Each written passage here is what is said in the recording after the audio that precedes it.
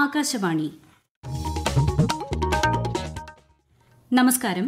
പ്രാദേശിക വാർത്തകൾ വായിക്കുന്നത് സോഫിയ ഡാനിയൽ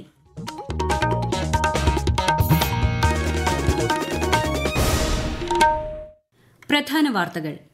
രാജ്യത്ത് നിയമന പ്രക്രിയകൾ സുതാര്യമാക്കാൻ കേന്ദ്ര സർക്കാരിന് സാധിച്ചതായി പ്രധാനമന്ത്രി നരേന്ദ്രമോദി റോസ്ഗാർ മേളയിലൂടെ ഒരു ലക്ഷം പേർക്ക് നിയമന ഉത്തരവുകൾ കൈമാറി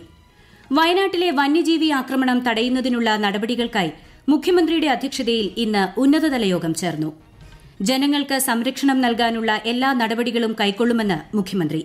വന്യജീവി ആക്രമണം തടയുന്നതിൽ വനം വകുപ്പിന് വീഴ്ചയുണ്ടായതായി പ്രതിപക്ഷ നേതാവ് വി ഡി സതീശൻ സംസ്ഥാന ബജറ്റിന്മേലുള്ള പൊതുചർച്ചയ്ക്ക് നിയമസഭയിൽ ഇന്ന് തുടക്കമായി ലോക്സഭാ തെരഞ്ഞെടുപ്പിൽ കോട്ടയം മണ്ഡലത്തിലെ എൽ ഡി എഫ് സ്ഥാനാർത്ഥിയായി തോമസ് ചാഴിക്കാടനെ പ്രഖ്യാപിച്ച് Kerala Congress M I S L ഫുട്ബോളിൽ ഇന്ന് കേരള ബ്ലാസ്റ്റേഴ്സ് പഞ്ചാബ് എഫ് സിയെ നേരിടും വാർത്തകൾ വിശദമായി രാജ്യത്ത് നിയമന പ്രക്രിയകൾ സുതാര്യമായും സമയബന്ധിതമായും നടപ്പാക്കാൻ കേന്ദ്ര സർക്കാരിന് സാധിച്ചതായി പ്രധാനമന്ത്രി നരേന്ദ്രമോദി റോസ്ഗാർ മേളയുടെ പന്ത്രണ്ടാം ഘട്ടത്തിന്റെ ഉദ്ഘാടനം വീഡിയോ കോൺഫറൻസിംഗിലൂടെ നിർവഹിക്കുകയായിരുന്നു അദ്ദേഹം കഴിഞ്ഞ പത്ത് വർഷത്തിനിടെ മുൻ സർക്കാരുകളെ അപേക്ഷിച്ച് ഒന്നര ഇരട്ടി സർക്കാർ ജോലികൾ മോദി സർക്കാർ ലഭ്യമാക്കിയതായും പ്രധാനമന്ത്രി പറഞ്ഞു വികസിത ഭാരതത്തിൽ സർക്കാർ ഉദ്യോഗസ്ഥർക്ക് നിർണായക പങ്കുണ്ടെന്നും അദ്ദേഹം വ്യക്തമാക്കി നാൽപ്പത്തിയേഴ് കേന്ദ്രങ്ങളിലായി നടന്ന റോസ്ഗാർ മേളയിൽ ഒരു ലക്ഷം പേർക്കാണ് നിയമന പത്രങ്ങൾ കൈമാറിയത് തിരുവനന്തപുരം പള്ളിപ്പുറം സിആർപിഎഫ് ആസ്ഥാനത്ത് നടന്ന മേളയിൽ കേന്ദ്ര സഹമന്ത്രി വി മുരളീധരൻ പങ്കെടുത്തു അഞ്ച് ട്രില്യൺ ഡോളർ സമ്പദ് വ്യവസ്ഥയാകാനുള്ള യാത്രയിലാണ് രാജ്യമെന്നും രണ്ടായിരത്തി നാൽപ്പത്തിയേഴിൽ ഇന്ത്യയെ വികസിത രാജ്യമാക്കി മാറ്റുക എന്നതാണ് സർക്കാരിന്റെ ലക്ഷ്യമെന്നും അദ്ദേഹം പറഞ്ഞു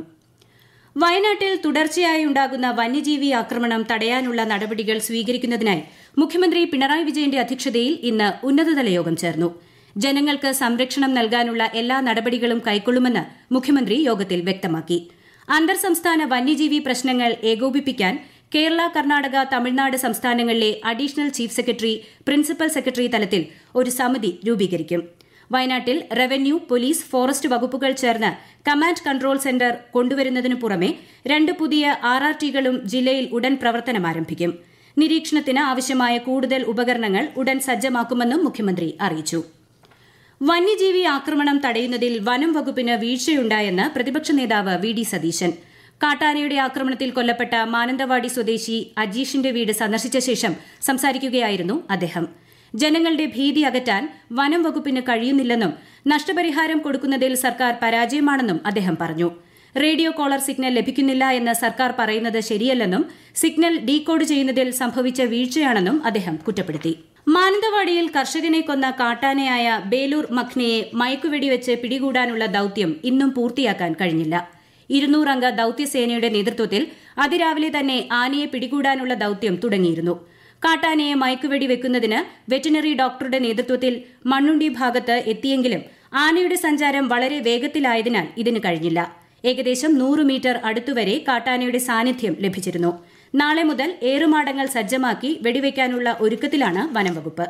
വയനാട്ടിലെ കാട്ടാന ആക്രമണം സംബന്ധിച്ച അടിയന്തര പ്രമേയത്തിന് അവതരണാനുമതി നിഷേധിച്ചതിൽ പ്രതിഷേധിച്ച് നിയമസഭയിൽ പ്രതിപക്ഷ വാക്കൌട്ട് പ്രതിപക്ഷത്തു നിന്നും ടി സിദ്ധിക്കാണ് പ്രമേയ അവതരണത്തിന് അനുമതി തേടിയത് കാട്ടാന പ്രശ്നം പരിഹരിക്കുന്നതിൽ സംസ്ഥാന സർക്കാർ നിഷ്ക്രിയമാണെന്ന് പ്രതിപക്ഷം ആരോപിച്ചു എന്നാൽ സിഗ്നൽ വിവരം കൈമാറാത്തതിൽ കർണാടക വീഴ്ച വരുത്തിയതായും കൊല്ലപ്പെട്ട കർഷകന്റെ കുടുംബത്തിന് നഷ്ടപരിഹാരം നൽകുമെന്നും വനമന്ത്രി എ കെ ശശീന്ദ്രൻ പറഞ്ഞു സംസ്ഥാന ബജറ്റിന്മേലുള്ള പൊതു ചർച്ചയ്ക്ക് നിയമസഭയിൽ തുടക്കമായി ഡെപ്യൂട്ടി സ്പീക്കർ ചിറ്റയം ഗോപകുമാർ ചർച്ചയ്ക്ക് തുടക്കം കുറിച്ചു നവകേരള മുന്നേറ്റത്തിന്റെ ബജറ്റാണ് സംസ്ഥാനത്ത് അവതരിപ്പിക്കപ്പെട്ടതെന്ന് അദ്ദേഹം പറഞ്ഞു കേവല പ്രഖ്യാപനങ്ങളും വാഗ്ദാനങ്ങളും അല്ലാതെ സംസ്ഥാന ബജറ്റിൽ മറ്റൊന്നും ഇല്ലെന്ന് മുൻ പ്രതിപക്ഷ നേതാവ് രമേശ് ചെന്നിത്തല കുറ്റപ്പെടുത്തി സംസ്ഥാനത്തിന്റെ കടമെടുപ്പ് പരിധി വർദ്ധിപ്പിക്കണമെന്നാണ് പ്രതിപക്ഷത്തിന്റെ ആവശ്യമെന്നും അദ്ദേഹം പറഞ്ഞു ബജറ്റ് ചർച്ചകൾ ഈ മാസം പതിനഞ്ച് വരെ നിയമസഭയിൽ തുടരും ലോക്സഭാ തിരഞ്ഞെടുപ്പിൽ കോട്ടയം മണ്ഡലത്തിൽ എൽ ഡി എഫ് സ്ഥാനാർത്ഥിയായി കേരള കോൺഗ്രസ് എമ്മിലെ sitting M P Thomas Chazhikadan മത്സരിക്കുമെന്ന് party chairman Jose K Mani അറിയിച്ചു രണ്ടായിരത്തി പത്തൊൻപതിലെ തെരഞ്ഞെടുപ്പിൽ യു ഡി എഫിന്റെ ഭാഗമായാണ് കേരള കോൺഗ്രസ് എം മത്സരിച്ച് ജയിച്ചത്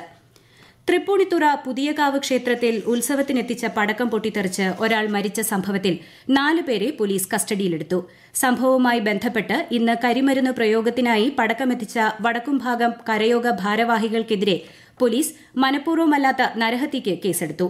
സ്ഫോടനത്തെ തുടർന്ന് ആശുപത്രിയിൽ പ്രവേശിപ്പിച്ച മൂന്നുപേരുടെ നില ഗുരുതരമാണ് സംഭവത്തിൽ മുപ്പതിലധികം വീടുകൾക്ക് കേടുപാടുകൾ പറ്റിയിട്ടുണ്ട് കേന്ദ്ര സർക്കാരിന്റെ വികസന ക്ഷേമ പദ്ധതികൾ ജനങ്ങളിലേക്ക് എത്തിക്കുന്നതിനായി സംഘടിപ്പിക്കുന്ന വികസിത് ഭാരത് സങ്കല്പ യാത്രയുടെ രണ്ടാംഘട്ട പര്യടനം തിരുവനന്തപുരം കോഴിക്കോട് ജില്ലകളിൽ തുടരുന്നു തിരുവനന്തപുരത്ത് ചെങ്കോട്ടുകോണം കരുമം എന്നിവിടങ്ങളിലായിരുന്നു ഇന്നത്തെ പര്യടനം കോഴിക്കോട് തടമ്പാട്ടുതാഴത്തും വെള്ളിമാട് കുന്നുമാണ് യാത്ര ഇന്നെത്തിയത് ഐ എസ് എൽ ഫുട്ബോളിൽ ഇന്ന് കേരള ബ്ലാസ്റ്റേഴ്സ് പഞ്ചാബ് എഫ് സിയെ നേരിടും രാത്രി ഏഴ് മുപ്പതിന് കൊച്ചി ജവഹർലാൽ നെഹ്റു സ്റ്റേഡിയത്തിലാണ് മത്സരം നിലവിൽ പോയിന്റ് പട്ടികയിൽ മൂന്നാം സ്ഥാനത്താണ് കേരള ബ്ലാസ്റ്റേഴ്സ് രാജ്യത്തെ ഓഹരി വിപണികളിൽ നഷ്ടം ബോംബെ ഓഹരി സൂചിക സെൻസെക്സ് അഞ്ഞൂറ്റി ഇരുപത്തിമൂന്ന് പോയിന്റ് താഴ്ന്ന് എഴുപത്തി ഒരായിരത്തി എഴുപത്തിരണ്ടിലും ദേശീയ ഓഹരി സൂചിക നിഫ്റ്റി നൂറ്റി അറുപത്തിയാറ് പോയിന്റ് കുറഞ്ഞ് ഇരുപത്തോരായിരത്തി അറുന്നൂറ്റി പതിനാറിലും വ്യാപാരം അവസാനിപ്പിച്ചു സ്വർണവിലയിൽ മാറ്റമില്ല ഗ്രാമിന് അയ്യായിരത്തി എഴുന്നൂറ്റി എഴുപത് രൂപയും പവന് നാൽപ്പത്തി ഒരുന്നൂറ്റി അറുപത് രൂപയുമാണ് ഇന്നത്തെ വില വിവിധ വകുപ്പുകളുടെയും സംഘടനകളുടെയും സഹകരണത്തോടെ കൊച്ചി മെട്രോ ഫേസ് ടുവിന്റെ നിർമ്മാണ പ്രവർത്തനങ്ങൾ സുഗമമാക്കാൻ എറണാകുളം ജില്ലാ കളക്ടറുടെ അധ്യക്ഷതയിൽ ചേർന്ന യോഗത്തിൽ തീരുമാനം കലൂർ ജവഹർലാൽ നെഹ്റു സ്റ്റേഡിയം മുതൽ കാക്കനാട് ഇൻഫോ പാർക്ക് വരെയുള്ള മെട്രോ നിർമ്മാണവുമായി ബന്ധപ്പെട്ട യോഗത്തിലാണ് തീരുമാനം ഈ വാർത്തകൾ ആകാശവാണിയിൽ നിന്ന് കുംഭമാസ പൂജകൾക്കായി ശബരിമല ക്ഷേത്രനട നാളെ വൈകുന്നേരം അഞ്ചു മണിക്ക് തുറക്കും നട തുറക്കുന്ന ദിവസം പ്രത്യേക പൂജകൾ ഉണ്ടാവില്ല ദർശനത്തിനെത്തുന്ന അയ്യപ്പ ഭക്തർക്ക് വെർച്വൽ ക്യൂ ബുക്കിംഗ് ടിക്കറ്റ് നിർബന്ധമാണ് പതിനെട്ടിന് രാത്രിയാണ് നട അടയ്ക്കുക പ്രധാന വാർത്തകൾ വീണ്ടും രാജ്യത്ത് നിയമന പ്രക്രിയകൾ സുതാര്യമാക്കാൻ കേന്ദ്ര സർക്കാരിന് സാധിച്ചതായി പ്രധാനമന്ത്രി നരേന്ദ്രമോദി റോസ്ഗാർ മേളയിലൂടെ ഒരു ലക്ഷം പേർക്ക് നിയമന ഉത്തരവുകൾ കൈമാറി വയനാട്ടിലെ വന്യജീവി ആക്രമണം തടയുന്നതിനുള്ള നടപടികൾക്കായി മുഖ്യമന്ത്രിയുടെ അധ്യക്ഷതയിൽ ഇന്ന് ഉന്നതതല യോഗം ചേർന്നു ജനങ്ങൾക്ക് സംരക്ഷണം നൽകാനുള്ള എല്ലാ നടപടികളും കൈക്കൊള്ളുമെന്ന് മുഖ്യമന്ത്രി വന്യജീവി ആക്രമണം തടയുന്നതിൽ വനം വകുപ്പിന് വീഴ്ചയുണ്ടായതായി പ്രതിപക്ഷ നേതാവ് വി ഡി സതീശൻ സംസ്ഥാന ബജറ്റിന്മേലുള്ള പൊതുചർച്ചയ്ക്ക് നിയമസഭയിൽ ഇന്ന് തുടക്കമായി ലോക്സഭാ തെരഞ്ഞെടുപ്പിൽ കോട്ടയം മണ്ഡലത്തിലെ എൽ ഡി എഫ് സ്ഥാനാർത്ഥിയായി തോമസ് ചാഴിക്കാടനെ പ്രഖ്യാപിച്ച് Kerala Congress M I S L ഫുട്ബോളിൽ ഇന്ന് കേരള ബ്ലാസ്റ്റേഴ്സ് പഞ്ചാബ് എഫ് സിയെ നേരിടും പ്രാദേശിക വാർത്തകൾ കഴിഞ്ഞു അടുത്ത വാർത്താ പ്രക്ഷേപണം രാത്രി ഏഴ് ഇരുപത്തിയഞ്ചിന്